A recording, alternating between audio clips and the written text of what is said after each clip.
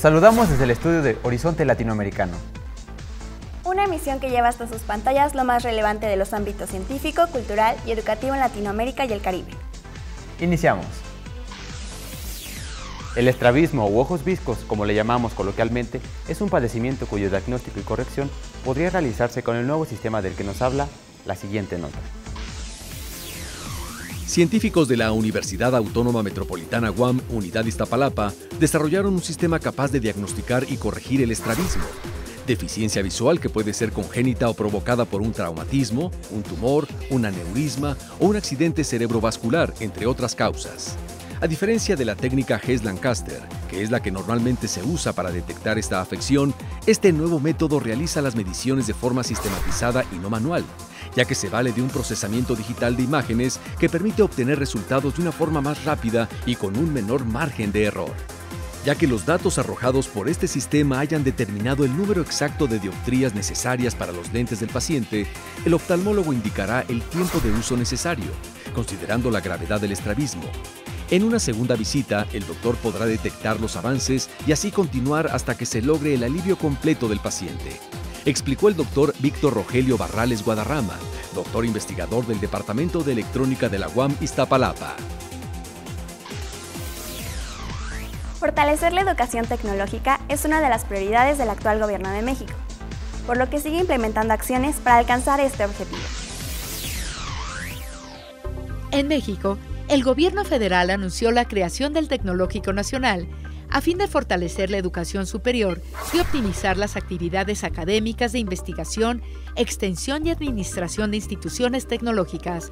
Por esta razón, el Tecnológico Nacional tendrá adscritos a los institutos tecnológicos, unidades y centros de investigación, docencia y desarrollo de educación superior tecnológica con los que la Secretaría de Educación Pública SEP impartía este tipo de enseñanza. Sus objetivos se enfocarán hacia los servicios de educación superior tecnológica, la investigación aplicada, científica y tecnológica. Ofrecerá cobertura educativa igualitaria para estudiantes en situación marginal. Impulsará la equidad, la perspectiva de género, la inclusión y la diversidad, además de divulgar los conocimientos.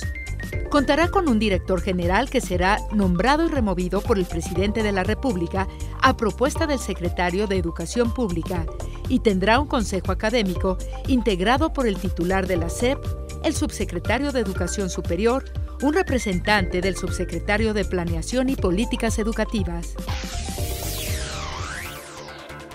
En 2002, la odalisca con pantalón rojo pintada por Henry Matisse fue robado de una de las salas del Museo de Arte Contemporáneo de Caracas y sustituido por un lienzo falso. El seguro de robo lo evaluó en 3 millones de pesos. La Interpol y el FBI buscaron en 183 países y lo encontraron en Miami el año pasado. Después de presentar los documentos que acreditan su pertenencia, el cuadro de Matisse regresará a su sala de exhibición en Caracas. Los días 15 y 16 de noviembre próximo se realizará en la Ciudad de México el primer tianguis gastronómico de América Latina, Tigal, el valor del origen. A fin de mostrar al mundo la riquísima oferta de la cocina mexicana, revalorarla y mirar al futuro desde nuestros orígenes, expresó el secretario de Turismo del Distrito Federal, Miguel Torruco Márquez.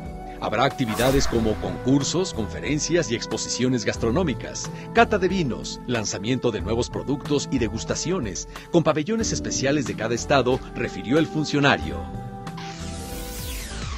Los vestuarios típicos de Latinoamérica destacan por su gran riqueza artesanal y un ejemplo que es considerado icónico de Colombia es el sombrero volteado.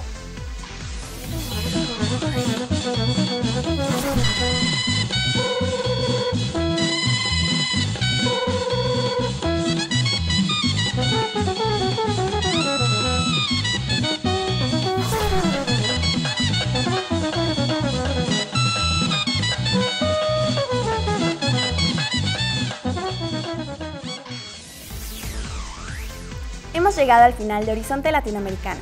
Los invitamos a que nos sigan a través de las redes sociales que aparecen en su pantalla. Y escríbanos al correo horizontelatinoamericano.ilce.edu.mx. Su opinión es muy importante para nosotros. Hasta pronto.